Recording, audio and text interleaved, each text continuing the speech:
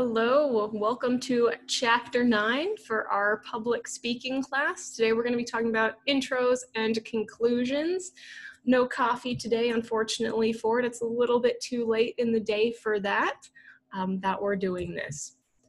So, intros and conclusions, probably two of your most important things in your speech. So, the purpose of your introduction, you have to gain attention and interest because really no one cares about what you're talking about until you make them care. You have to get their attention. Um, gain the goodwill of the audience. So make yourself trustworthy, make them interested in what you have to say. Clearly state your purpose so they know what they're getting into, and preview and structure out the speech. So, what are you going to talk about? What order is this stuff going to come in? So for your introduction, you actually write it after you do the body of your speech, but before you do the conclusion. Sorry, I just got a phone call, so we're gonna ignore that so we can finish this out. Uh, so like I just said, your introduction, you do it after you write the main part of your speech, but before the conclusion so that you can tie it all back together.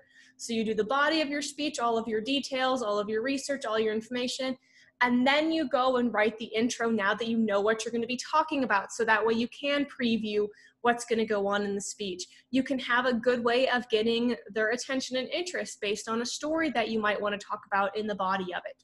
And then you move on to the conclusion at the very end. So you're preparing the audience for the end of the speech. You're presenting any of your final appeals you're summarizing, closing it up, and you're ending with a clincher or you're tying things back to the introduction with a nice little bow.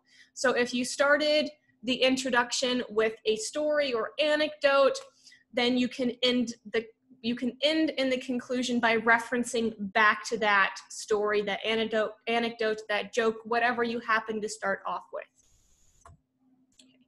So some ways to gain attention and interest. So tell a story refer to the occasion or recent or historical events that are going on, previous speeches. So if one of your classmates gave a speech on something, you can refer back to that. You know, as we've heard from Jill, da da da da da da. I'm going to expand on that by talking about da da da da da da. Um, why you're personally interested in this topic.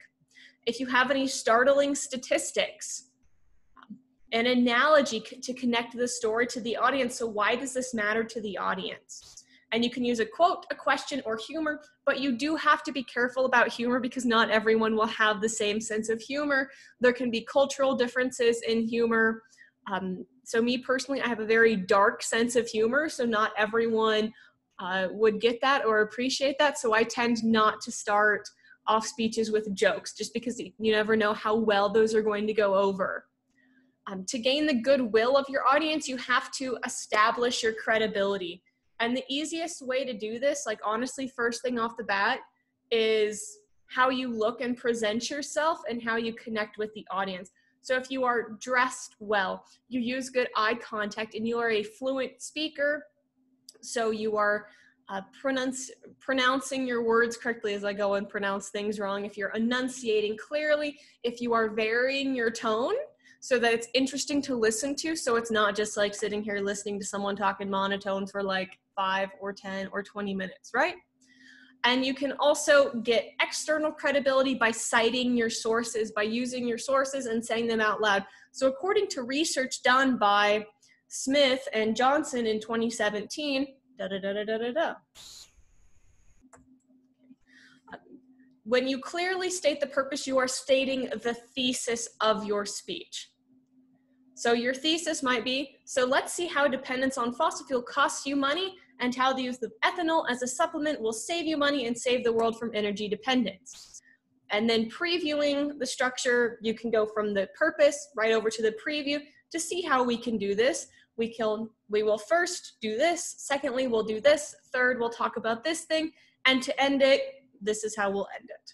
And then people can kind of get a preview, um, a flash forward of what they're going to be seeing and listening to.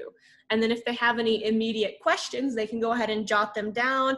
And then if you answer them in the speech, then all's great. And if not, then they already have that written down. So at the end, they can be like, hey, I had a question about this thing because um, you mentioned it in the preview and then I didn't really get my answer. And then in your conclusion, wrap it all up nicely by not introducing any new information. And then following the structure, you can use the same quote or question or by creating a contrast. Like I said, you can tie it back to that same story that you maybe used at the beginning. You can finally finish out the joke, you know, finish out the punchline to conclude just so that it, you know, loops all back together. So we are done with intros and conclusions. Like I said, pretty quick. I don't even know if that took five minutes or not. Um, I guess I'll find out here when I go look at the video.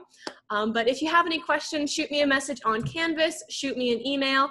I will be happy to assist you in any way possible. Thanks. See you soon.